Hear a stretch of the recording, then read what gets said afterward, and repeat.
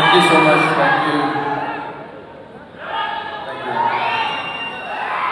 చాలా సంతోషం మిమ్మల్ని అందరూ చూడటం.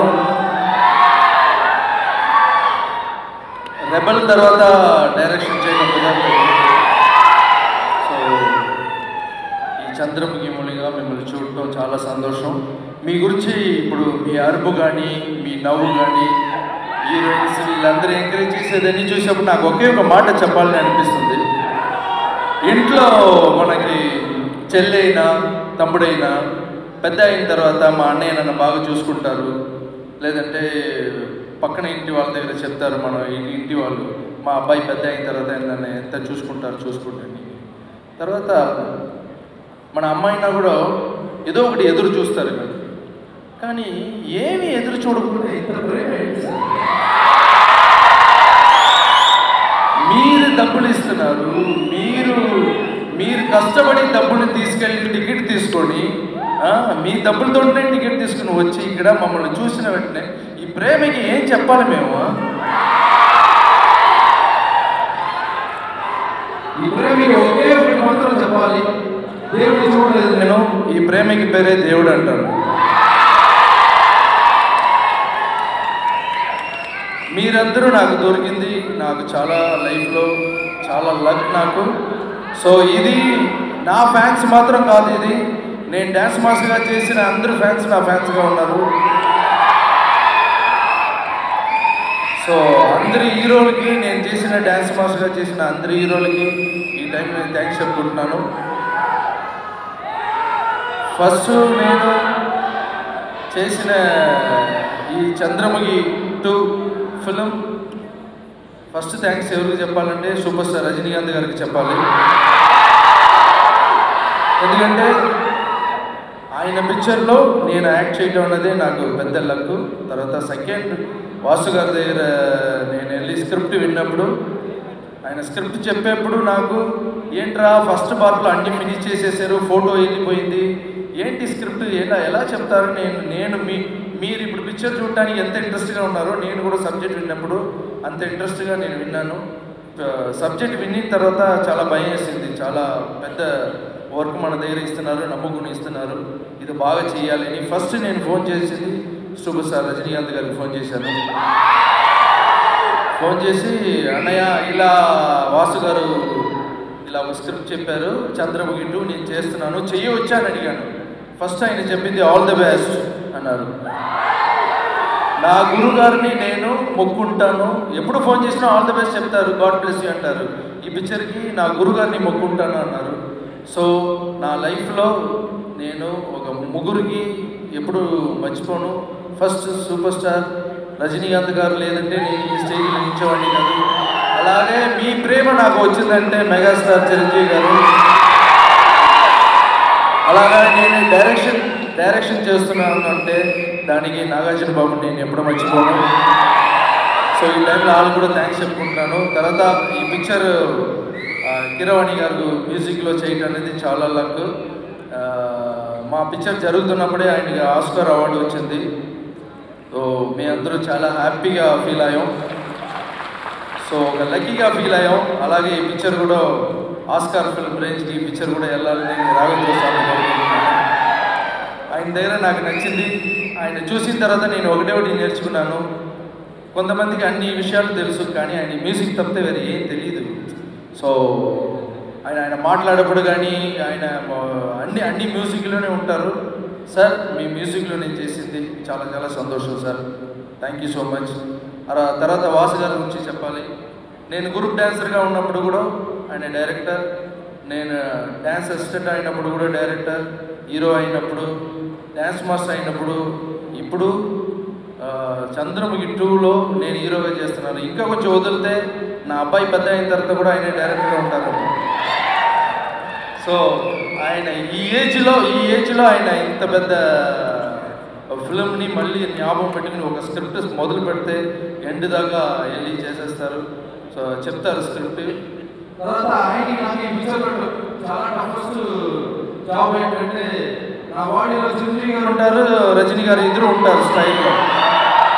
ఎందుకంటే చిరంజీవి గారిని చూసి డ్యాన్స్ నేర్చుకున్నాం రజనీ గారిని చూసి స్టైల్ నేర్చుకున్నాం. బయట తీయాలంటే చాలా కష్టం. ఒక సీన్ ఇచ్చినప్పుడు వాసు గారు రజనీకాంత్ ఒక వాక్ చేసి రావాలన్నారు. నేను వాక్ చేసుకుని వచ్చి నించున్నాను. నించున్న తర్వాత అక్కడ నుంచి మానిటర్లు వచ్చి మాస్టర్ దీంట్లో రజనీ సార్ లైట్గా తెలుస్తున్నారు. అది లేకుండా చేస్తే బాగుంటుందని. సరే సార్ బా మళ్ళీ చేస్తాను మళ్ళీ చేశాను. ఒక పదిసారి చేస్తే ఆయనకి ఎప్పుడో ఆయన వస్తున్నారు. ఆ వాక్లో అలా వచ్చిన తర్వాత స్టైల్ ఉంటుంది కదా ఆ స్టైల్ అది ఎప్పుడో వచ్చేస్తుంది.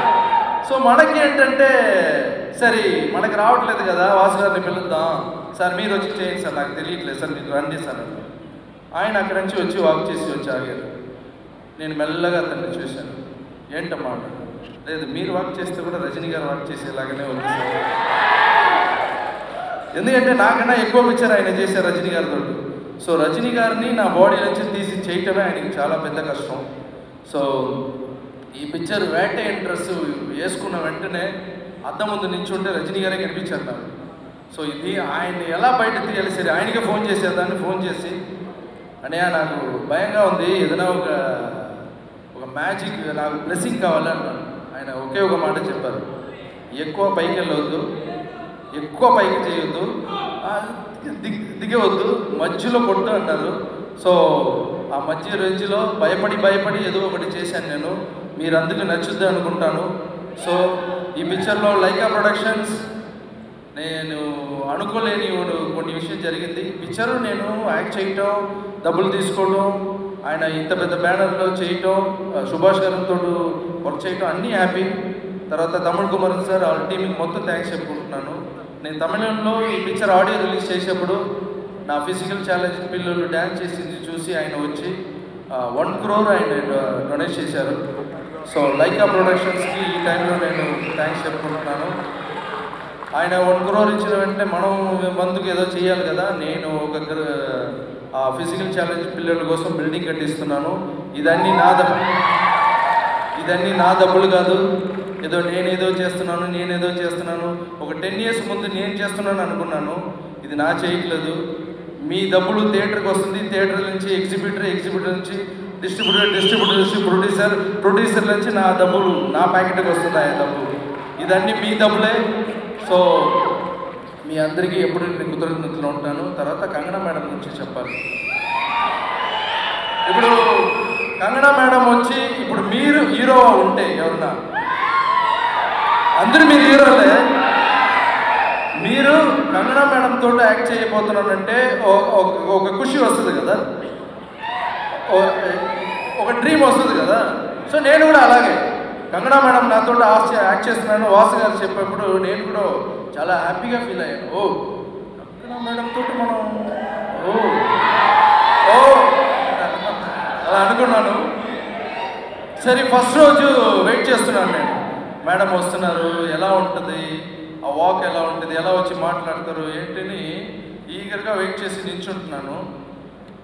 మేడం ఫ్రేమ్ ఎంటర్ అయ్యేప్పుడే పక్కన ఐదు ఆరు గెన్మండి ఇలా వస్తున్నారు. నాకు ఏంటో వెళ్ళి మాట్లాడదాం ఫస్ట్ డే వెళ్ళి మాట్లాడదాం వెళ్ళినప్పుడు ఈ గెన్మెన్ గొడవలు ఏంటంటే మేడం అన్నా నవ్వుతారు కానీ గెన్మెన్లు నవ్వరు. వాళ్ళకి రీర కడిగేస్తే ఎలా ఉంటుందంటే అలా ఉంటుంది. సో వాళ్ళంటే నాకు చాలా ఇష్టము. వాళ్ళు నా నా దగ్గర ఫోటోలు తీసుకుంటారు అన్నీ ఓకే. నేను మాట్లాడే ఇంగ్లీష్ మనకి ఇంగ్లీష్ కొంచెం చాలా లాగింది. మనం మాట్లాడే ఇంగ్లీష్ అర్థం లేకుండా అర్థం లా- అర్థం కాకుండా మేడం ఏదో చూపించింది అనుకో వాళ్ళకి ఎన్ని నాలుగు దగ్గర తిప్పేశారంటే ఏదో కష్టపడి పైకి వచ్చి ఈ స్టేజ్ పోతాం కదా సరే సైలెంట్గా ఉన్నాను. తర్వాత కొద్దిగా కొద్దిగా కంగనా మేడం దగ్గర నేను చాలా చాలా క్లోజ్ అయ్యి చాలా క్లోజ్ అయ్యి మేడం చాలా చిన్న పిల్లలాగా ఉంది. అలాగే మహిమ మీ మహిమ.